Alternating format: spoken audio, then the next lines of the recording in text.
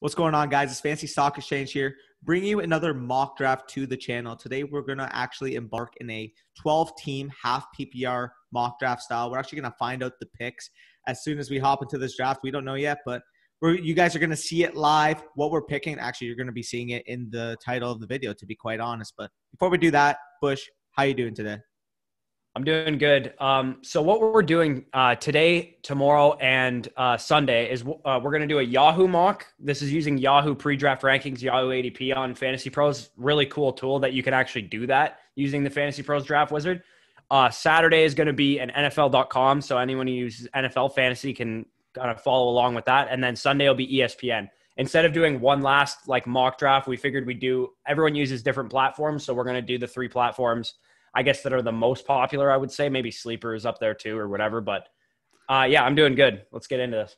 Yeah, for sure. Again, as you kind of mentioned, uh, those are the three main platforms that most users or most subscribers to the channel, most viewers that are actually going to be watching this are going to be using on their home league drafts. So just getting a mock draft from each platform will kind of give you guys different types of ADPs, different types of player values. Maybe, oh, I like this player. I can wait around to get him because he's undervalued on this platform all these different platforms are going to have different player values. So just being able to manipulate the board to your liking is going to help you uh, and optim uh, make your team uh, more optimal in terms of value. So definitely use uh, use your mock draft simulators too. I know NFL. I don't know about ESPN, but I know NFL and Yahoo have mock draft lobbies. Like go into those. I know it's a pain in the ass drafting with other people in those, but you get a legitimate sense for how players are valued on those platforms because I know, for example, Yahoo has Austin Ekeler super low. Like you might be able to get him in like the mid second round, whereas NFL, I believe, has him like properly valued. For sure. So just being able to be aware when that sort of stuff happens, sort of players like that are uh, valued, is mostly going to be key. Especially say you're picking at the turn, and uh, you may have a guy a little bit ahead of another guy, but it's super close. Let's let's, let's use Austin Ekeler and Josh Jacobs for example you like both of those guys really, really a lot, and you pick at the 110. But you see that Austin Ekeler's on the ADP down at like the low end of the second round. Maybe take Jacobs at the 10, even if you like Ekeler a little bit more, and ultimately be able to pair him at that 202. So either way, you'll see what happens today. Super pumped to get into this Yahoo style mock draft. But before we do that, let's hit the intro.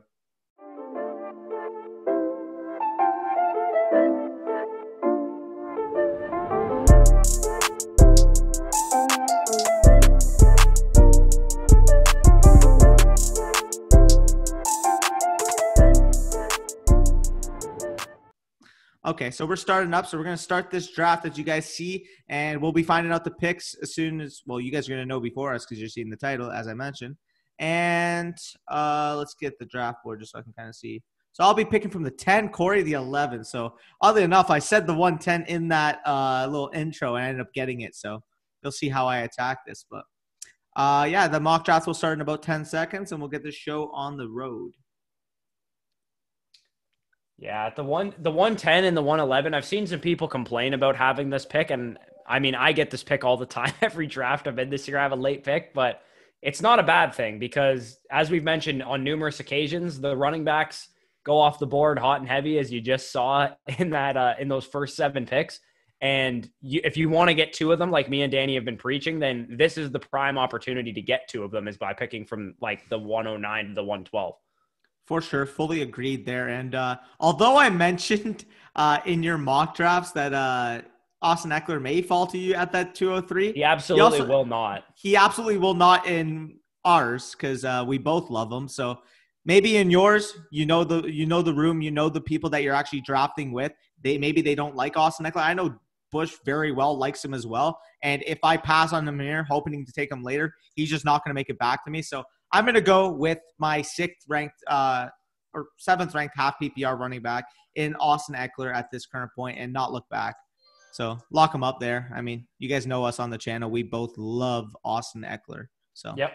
And my next ranked running back, had this guy not gotten injured, it would be Miles Sanders. But I'm going to go with Josh Jacobs, who is, um, after the Sanders injury, is my next ranked running back. I believe he's my RB8 right now if I'm not mistaken. But yeah, I'm definitely and good. Joe Mixon wasn't going to pick you, so I'm actually going to pair him with Miles Sanders. I oh, I'm starting to think that Miles Sanders' injury is a little bit less concerning than we initially thought. I think he'll be back on the field this week as uh, as teams shift from like training camp mode to preparing for week one. I think this is when we're going to see Miles Sanders get back on the field. For sure, definitely like that. And uh, yeah, I'm looking at the board here, and as you mentioned, I was really hoping uh, Sanders, Jacobs, or Mixon would fall to me. I kind of have them, even though they're similar to you, I kind of have them a little bit ahead of uh, guys like Chubb, Drake, and Jones. But uh, because it's a uh, a half PPR, if it was a full PPR, I would not take them. But because it's a half PPR, I can kind of supplement that that receiving. I don't want to say like lack of ceiling, but that's basically what you're getting with a guy like Nick Chubb. I do think in a half PPR he can still give you value because he's ultimately going to be one of the most featured rushers in the ground game. And in half PPR compared to full, you don't necessarily need that receiving upside. Uh, to be as high because again you're not getting as many points for the actual reception total. So I'm gonna go with Nick Chubb again. Uh, if, if it was a full PPR, I would probably have taken uh, Julio Jones or maybe Kenyan Drake there. But uh, in the half PPR, locking up Nick Chubb, I'm fine with taking him there at the 203 one of the top 14 running backs we mentioned.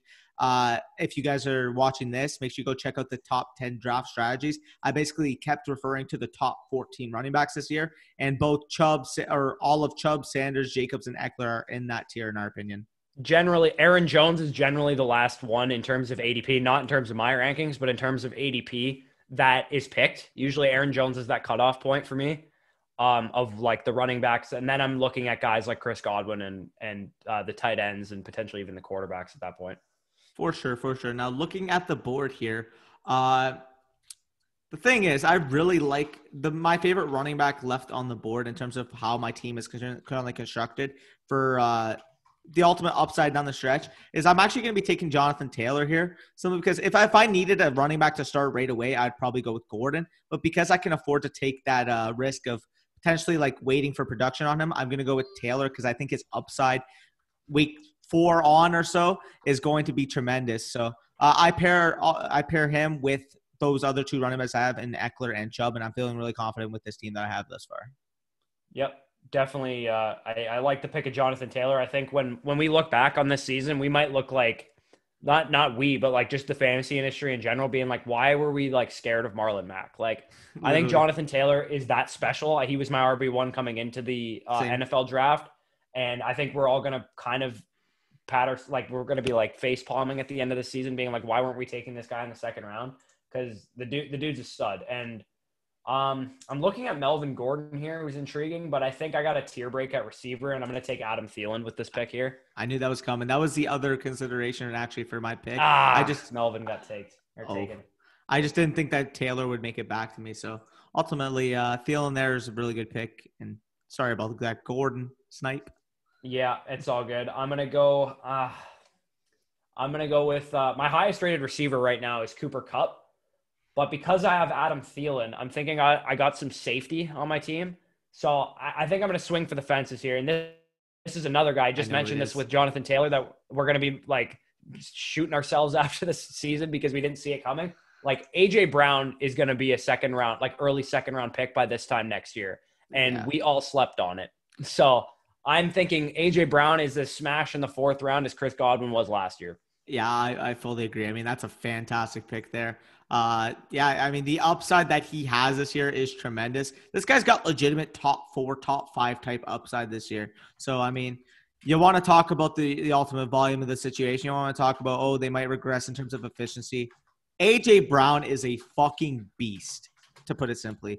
But uh, yeah, anyways, looking at my pick again, this is a guy that's kind of been undervalued by the industry as a whole. Glad to see that his uh, ADP has gotten raised to about where it should be. And uh, given that he will be my wide receiver one after starting RB heavy, I'm actually going to go with Robert Woods because he is uh, my highest ranked receiver on the board so far. And I do think the safety that you get with a Robert Woods is ultimately going to be the uh, the best option on the board there. So uh, the consistency, the production. I mean, this guy has got sneaky upside as well, but people never want to associate it, uh, it with him because he's quote unquote a boring pick. But uh, definitely happy with getting Robert Woods there. And I'm actually back on the clock, and somehow, by some miracle, DJ Chark is staring me right in the face at the end of the fifth round.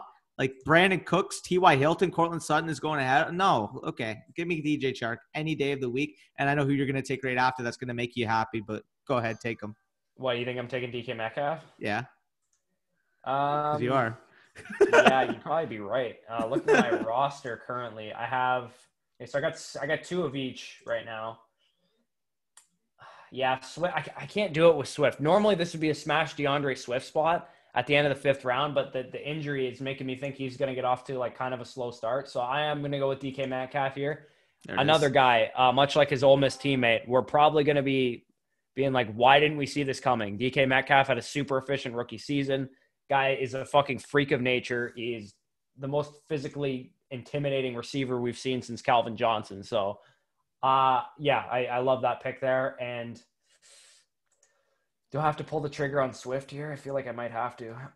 Uh, Nah, nah. You could just take like David Montgomery, James White, Jordan Howard. Like I can't. Like I can't take those guys over Hunt. D'Andre Swift. I like I'm taking D'Andre Swift here. I know he's going to get off to a bit of a slow start. Maybe I can't use him until the, I don't know, the week six or whatever. But I have to pick him here because the sixth round ADP is is he's at a point where he's at least like a bench player or like a last flex spot for me, which uh, I think is uh, appropriate. Yeah, that that's a big snipe action there. That one. Yeah.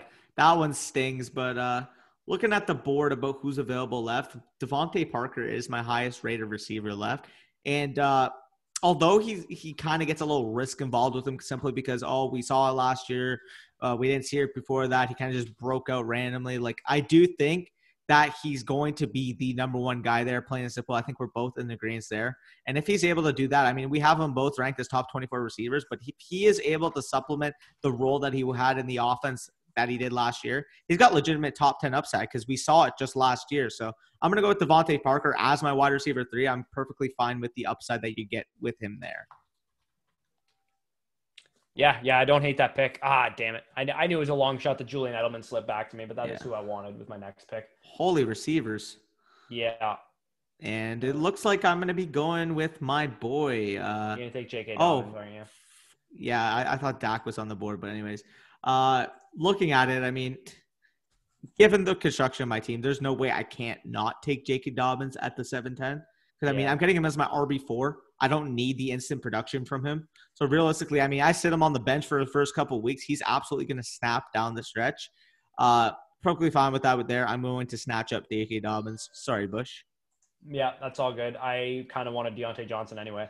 Um, yeah, Diontae Johnson. We've we've talked about it on numerous numerous occasions. Number one in target separation. He did all of what we're making excuses for for Juju Smith-Schuster, except he actually performed in it. Why? Because he could actually get open. So Diontae Johnson, like I, I'm just, I'm super high on this kid. I think if Juju has a disappointing season again, it actually wouldn't really shock me that much.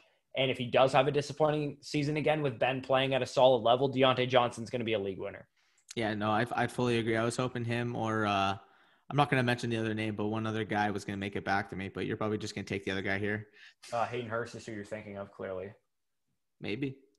Um, I don't think I don't want to take Hayden Hurst though. I'm going to get a guy that I don't really actually have a lot of shares of, and that's Christian Kirk. I think I like uh, I like Christian Kirk's outlook this year, man. Like I think the way I look at uh, DeAndre Hopkins' outlook, I, it just makes me like Christian Kirk that much more.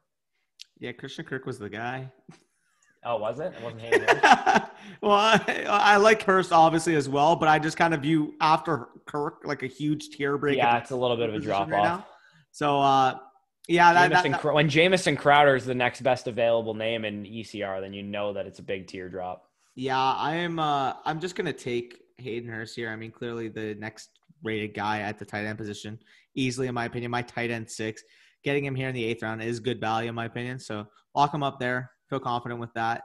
As we do see your boy uh, Rojo go off the board, rest in peace. Yeah, I mean the eighth round is about where he belongs now. I think I do think he still has like league winning upside that he always had. It's probably gonna he's probably gonna have to play really well for that to happen to keep Fournette at bay or Fournette. I mean Fournette's never been the most the healthy player in the world, so he could also just get injured. But I do still think Rojo. It is Rojo's job. Bruce Arians came out and said it today he literally said Rojo's our guy, and I know no one wants to believe Bruce Arians, but he literally doesn't tell. He doesn't lie. I don't know why everyone thinks he lies all the time. He literally said Leonard Fournette is it was too good to pass up. Basically, he's like he provides us with incredible depth at the position. Yeah, fully there. And uh, I'm actually going to go with a guy I don't get a lot. I mean, maybe this is a reach according to the Yahoo ADP, but again, as we mentioned, get your guys, plain and simple. Uh, if I feel like he can return nine round value, I'm definitely just going to take him there, not worry about where he's listed at the receiver position. I'm actually going to go with Justin Jefferson because Oh, I do wrong think SEC receiver. I was thinking about him, but yeah.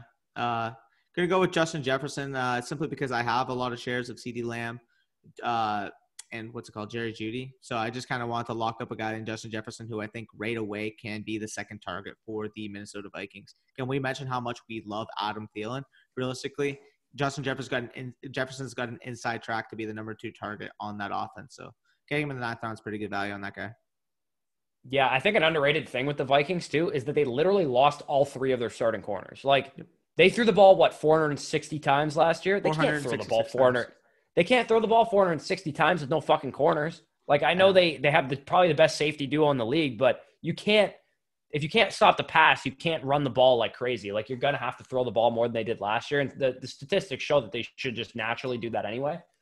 Yeah. Um, I'm gonna go with a guy here that I really I probably haven't drafted once this year until now, and Wow. that's Tarik Cohen because Tarik Cohen, as of right now, is alone in that backfield, and I know he's not gonna be probably the only one there. Uh, the like for as long as David Montgomery is out, but I mean, he's the primary guy there. He knows the offense best. If they bring in someone, I still think Tarik Cohen is the back to own in the Chicago backfield. And I'm going to pair him with another guy who's of that pass catching mold and Antonio Gibson, who I think, sorry, is um is a nice upshot upside shot to put in uh, as your RB five or six on your bench and just kind of hope that he turns into like this um this gadget guy in the Washington offense who is very devoid of pass catchers. It's just Terry McLaurin there.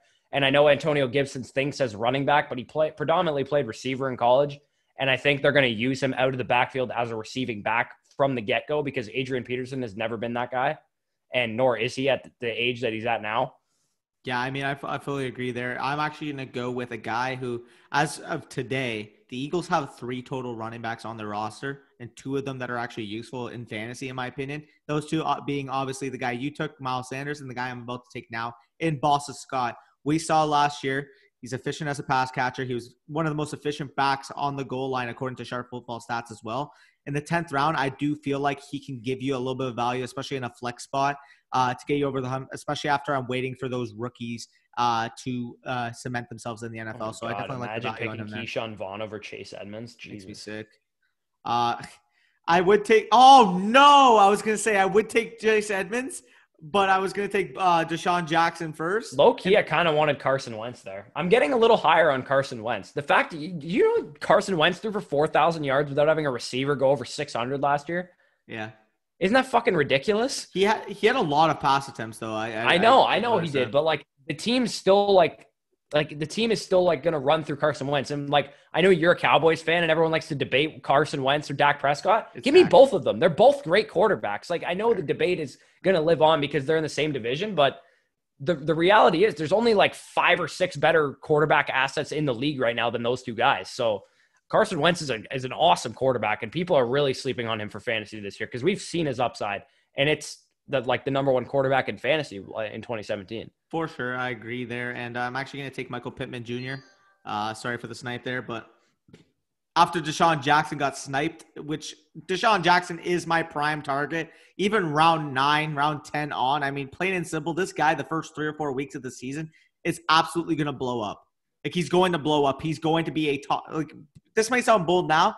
After the first four weeks of the season, he's going to be a top 50, maybe even top 10 receiver. I'm saying it right now. His schedule to open up the season is absolutely beautiful. Jalen Reagor is going to be missing the first month of the year. And outside of that, realistically, outside of Ertz, Goedert, Goedert's actually dealing with an injury right now. Who else is Carson Wentz, as you mentioned, over 600 pass attempts last year, going to throw to? It's going to be DeSean Jackson when he's healthy.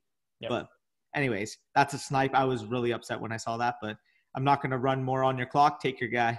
Yeah, uh, this is gonna be my last running back of the draft. Probably another just straight upside shot. Rock Armstead. I'm gonna take him because as of right now, I think he's the starting running back for for uh, Jacksonville. I know Chris Thompson's there, but Chris, let's not pretend like Chris Thompson can play more than fucking six games in a season without getting hurt. Um, and uh, Armstead's predominantly gonna get most of the carries at least, so I'll take him for a nice upside shot there. And uh, I don't have a quarterback or a tight end yet, so I'm gonna look at my options here. Um, I can wait on quarterback. I think tight end. I am gonna grab. Johnny. Don't, do I want to grab like anyone right now? I think I'm gonna Johnny. grab. No, I'm gonna I'm gonna grab Mike Gesicki because one, I can get Johnny later unless you pick him. Um, two, I am I really like I like Mike Gesicki not as, as much as I like Johnny, but it, he's right right down after that. Like I, I really like Mike Gesicki's outlook this year. I don't really believe that Preston Williams is going to be this superstar receiver. Like he kind of gives me some Keelan Cole vibes, to be honest. Like I remember when Keelan Cole had a great rookie season as an undrafted free agent. Now he's like fucking catching balls on the scout team for Jacksonville. So I, I don't think that Preston Williams is suddenly like the number one target in this offense, and it's just gonna completely take away from Mike Gesicki. I think Gesicki showed a lot last year, and they want to continue to use him. Yeah, I fully agree. And uh, segueing off that, I'm actually going to take my next highest rated quarterback. I know you're a little off of him, but I'm going to go be going with Cam Newton here again fully named a starter to start the season. I know you don't like him, but the upside, in my opinion, is tremendous for a guy like that. And at the quarterback position, yeah, there's a lot of boring, safe options you can go with, but a guy like Cam Newton's got legitimate top five upside. Yeah, he's got more potential to bust, but at the quarterback position in a one quarterback league, I don't care if he does bust because there's so many options actually on the waiver wire. Give me a guy who actually has legitimate upside, giving his rushing floor that he's going to have for the season if he plays a full 16. So yeah, definitely, yeah, definitely. no no arguments there. Uh, and then looking back on the board now, uh, I'm actually going to go with the guy, in my opinion, who actually uh, benefited the most from the release of Leonard Fournette. And I'm actually going to be taking Laviska Shenault. Simply put, the the fact of the matter is last year, those 100 targets that Leonard Fournette received were all basically intermediate around the line of scrimmage. Laviska Shenault will thrive in catch and run situations for that team, especially removing Leonard Fournette and his 100 targets. I do think Laviska Shenault could definitely be a solid number two target to DJ Chark on this team. Oddly enough, I actually have DJ Chark. That's not only why I'm taking Visca, but I think in the 13th round, he's got sneaky, sneaky wide receiver two, three type upside for the season, especially for a team that we think is going to throw the ball a ton. So I definitely like Laviska Shenault's value there. Yep, and you just brought up the Jacksonville Jaguars. That's exactly where I'm going. And I'm taking uh, the mustache man himself, Gardner Minshew, as my quarterback. He's my quarterback 11. As much as I like Carson Wentz, I have Gardner Minshew ranked ahead of Carson Wentz. So, and a lot of people might find that insane, but you really didn't watch Gardner Minshew if you think he's just like some some jag, pun intended. yeah, um, for sure. Good pick. And there's no way I'm getting him on the way back, so I'm taking Jonnu Smith now as my second tight end and I got my onesie positions pretty well locked up with those last three picks. Yeah, your team's definitely looking solid there. And uh, as you mentioned, because of the kind of insecurity I'm getting with Cam Newton in terms of like the the uh, risks that he does bring, I'm gonna get a guy who I think is as safe as can be. Probably the safest quarterback in fantasy. I mean, plain and simple, I'm gonna be going with Jared Goff. The attempts are gonna be there. I mean, plain and simple, we don't like we we love to hype up all the pass catching weapons that he has. No one uh, likes Goff, but we like no. Woods as a top 15 receiver. We like Kupp as a top 15 receiver, and we like Higbee as a top 10 tight end. And, and no one and, likes and no one likes Goff. And we like Cam Akers as potentially being a decent receiving back, even as for as soon as year one. Like Jared Goff, people even like fucking Van Jefferson and Gerald Everett as sleepers. Exactly. So, oh, I was hoping Jarek made it back to me, but the Damn. ADP is actually catching up. But Anyways, uh, looking at the board now, I mean, there's not really too many guys that give me a lot of uh, excitement. But in the 15th round, this may end up being the first guy that I drop when I'm looking at waivers, or this guy could take over for an incumbent Adrian Peterson within a few weeks and actually provide the talent that we saw from him at Stanford before his knee injury again, ton of risk with this, but it's the 15th uh, 15th round pick. And realistically, I mean, this guy this guy's going to be the first guy I drop if I he ends up busting, but he actually does have upside compared to the guys that are around this range. I'm actually going with Bryce Love. I do think he is a talented back. Obviously, the injury concerns are why he's going to be available here, but I think at this current selection, he has enough upside to actually give me uh, value uh, in terms of taking him and putting him on the end of my bench. So I'll, I'll definitely stash him.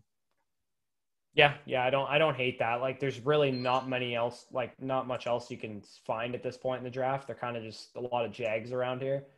Um there's one guy that stands out to me and as of right now he's I mean I think he's dealing with a hamstring strain, but he is really the only healthy receiver on the Niners cuz like they're dropping like flies. And that's uh Brandon Aiyuk. Uh, I liked him coming out of school, and I think he has some upside to produce in that offense. I fucking killed mine, and you got yeah. sewered by your draft grade. Yeah, uh, that's because uh, they apparently they don't like the rookies. But anyways, uh, we can actually analyze the rosters because actually, just want to say one thing to the viewers: don't take the grades that you get after your draft. So like you get a grade from ESPN, you get a grade from NFL Fantasy, you get a grade from Yahoo that they're going to send you a report giving you a grade on your team, your projected standings, your projected record. All that means is fuck all, to be quite honest. He's just saying that because lost. No, no, no. I, I'm going to say it because I know a guy in my league last year in one of my leagues. Obviously, I won the other one. Little little nod there. Guy had a, a projected record of two and eleven won the league. The guy yeah. who had a projected record of 10 and 3 didn't make the playoffs. So that just goes to show you I, I wasn't either of those guys. I had I had a good prediction. I just kind of uh, lost. Uh, I'm not going to get into that right now. Was, All right, let's get into the teams. Let's here. talk about the teams. Yeah, enough right. about me. So my superior team, I'll go first. No way. Um, so I have the I have the mustache man himself, Gardner Minshew, as my starting quarterback. I have Miles Sanders and Josh Jacobs, the two best running backs from the 2019 draft class. Fucking stellar fucking man running back core right there. Adam Thielen and AJ Brown, solid mix of ceiling and floor right there. Actually, I I don't even know why I keep calling Thielen a floor play because we've seen his ceiling and it's fucking insane. Um, Mike Gesicki, a solid tight end option there. DK Metcalf and D'Andre Swift. I'd probably swap D'Andre Swift for Tarik Cohen out if I were to start this lineup because Tarik Cohen's going to be valuable at the beginning of the season, probably long enough to when D'Andre Swift does kind of finally take over the backfield. I have um, I, ha- I don't have to use Tarik Cohen anymore. And by then, maybe David Montgomery is back. So Diontae Johnson, also another great um, player I could throw into my flex spot. Same goes for Christian Kirk. Um, and then Ryquell Armstead and Antonio Gibson kind of just dart throw like pure upside. Maybe they become starting running backs kind of uh, kind of options. Maybe they become kind of top 24 options at the position. The Jonnu Smith, I think, is going to be a top 10 tight end. And you guys have heard me talk about him probably every single video that I'm in. And then Brandon Aiyuk, he's kind of just another upside shot at um, which should be a, a, solid offense, and and he's as of right now the the best receiver there aside from George Kittle. So uh, until Deebo Samuel comes back, for sure. And then going through my roster again, I have Jared Goff in the starting quarterback position. I probably would uh, start uh, Cam Newton for the majority of my games, but I guess the algorithm wants to put Goff in there. Whatever. I picked Newton first, but we'll just go with it. Uh, Nick Chubb and Austin Ekeler at my RB core. Definitely love that pairing there. Two of the top 14 guys I keep alluding to. Then my receivers, I mean, Robert Woods, as consistent as they come. DJ Chark, we talked about multiple times how many times we think the Jaguars are going to throw this year. Hayden Hurst, top six guaranteed lock tight end in this this year. I mean, I I can't get any higher than I am on this guy. I he was my my guy at the tight end position. I do think that volume that he's going to get is tremendous on the Atlanta Falcons. But uh, looking at the flexes again, it has uh, Jonathan Taylor and DeVante Parker there. As Jonathan Taylor's kind of getting acclimated, I will probably throw in uh, a different option there, like let's say uh, Justin Jefferson, Laviska Shenault, Michael Pittman, a guy who can kind of get me through the first couple weeks that I know is going to be getting guaranteed volume right away. Uh, DeVante Parker as my second flex, and then coming off the bench, we do see J.K. Dobbins, Cam Newton, Boston Scott, Justin Jefferson, Michael Pittman, Laviska Shenault, and Bryce Love, and rounding out my team. So overall, again, this was our Yahoo Fantasy kind of mock draft, 12 team, half PPR. If you guys have any other suggestions uh, you want to see, obviously we're going to be finishing out the series with NFL.com and uh, ESPN mock drafts. But is there if there's any other mock drafts you want to see? You want to see us do a 10 team standard? Do You want to see us do I don't know, fucking two quarterback league, anything, drop it down below. We will we will take your suggestions to heart, make a video on them, get you guys ready for your drafts because that's what we're here to do. We're here to make sure you have all the information available to you guys to be able to make the most informed decisions based off what you're here and based off what you believe. So glad you guys made it this far in the video. Anything you want to add, Bush? It's fucking week one starting when you guys are listening Insane. to this. That's let's let's take that in. We are less than a week away from actual football being played. We don't have to listen to jackasses talk about their hot takes anymore, including us. It's actual toe hitting leather and we're all I'm I'm personally excited and this kind of probably sounds stupid, but I'm excited to see what I got wrong and what I got right. Mostly what I got wrong to be honest. But um I think I think it's super fun and, and I'm really sad that I'm not going to see if I was right about Rojo. Like maybe I will be, but um the fact that Leonard Fournette had to take his fat ass and ruin everything it is it kind of pisses me off because I wanted to see Rojo smash this year because I really thought that was going to happen. So yeah. Anyway, um, as Danny mentioned, like the video, hit the button that looks like this if you receive some value from this. comment down below any uh, any comments that you have on the draft or anything suggestions wise um, coming into the season too. We're going to be getting into our in-season content schedule starting next week. Uh, me and Nick are going to have our bold predictions for the season on Monday, and then we're straight into like waiver wires and previewing shit. Start and it's sit. fucking really exciting because I'm kind of low key, kind of sick of talking about players' outlooks. Just want to see them play. So, um, without further ado, guys, take it easy and enjoy your Friday. Yeah, start sit. Shout out Crocomon. But anyways, peace out, y'all. oh yeah, I gotta end.